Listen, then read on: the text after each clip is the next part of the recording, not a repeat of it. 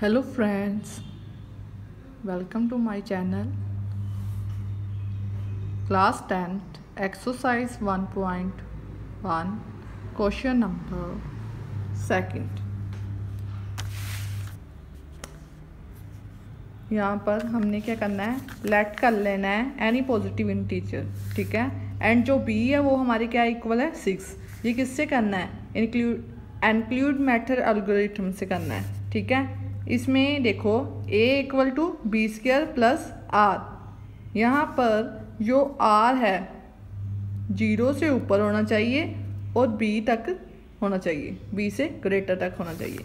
Possible value क्या है r की? Zero one two three four five क्यों? क्योंकि b सिक्स है। इसलिए सिक्स से कम कम लाइंस यहाँ पर वैल्यू होनी चाहिए। ठीक है? उसके बाद आर अगर हम आर को ज़ीरो पुट करते हैं, ठीक है? तो ये है, ये फॉर्मूला देखो, ठीक है? इसमें ए ए यहाँ पर बी हमारा क्या है? सिक्स है। तो बी का स्केयर ठीक है? आर हमने क्या पुट किया है यहाँ पर? ज़ीरो अगर ज़ीरो पुट गई, ये कुछ भी नहीं रहा। A equal to six square ठीक है? तो सिक्स क्या है हमारा? सिक्स नंबर इवन है। दिस इज़ इवन ठीक है? इसी तरह से फिर हमने वन पुट करना है।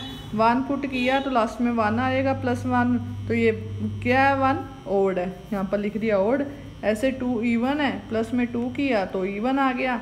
यहाँ पर अब आगे थ्री किया। इसी फॉर्मूले में सब कुछ प्लस करना है। यहाँ पर one two three four five six six हमारा लास्ट नंबर है, इसलिए सिक्स नहीं करेंगे। फाइव तक हम ज़रूर करेंगे। ठीक है? ये देखो फ्रेंड्स ठीक है? उसके बाद जब हमने फाइव किया तो फाइव नंबर क्या है? ओड है. फोर इवन है. थ्री ओड है. टू इवन है. वन ओड है. ठीक है? इसी तरह से ये सम हमारा कंप्लीट हो गया. ठीक है? लास्ट में हमने एक लाइन लिखनी है. Any positive odd is in the form of six q plus one six q plus three six q plus five ये हमारी बुक की स्टेटमेंट में दी गई है, जिसके लिए हमने ये लाइन बहुत ज़रूरी लिखनी है. ये वन मार्क्स के लिए लाइन होती है। अगर हम नहीं लिखेंगे तो हमारे मार्क्स कम हो जाएँगे। इसलिए ये लिखनी ज़रूरी है। Thanks friend for watching this video like and share it and also comment it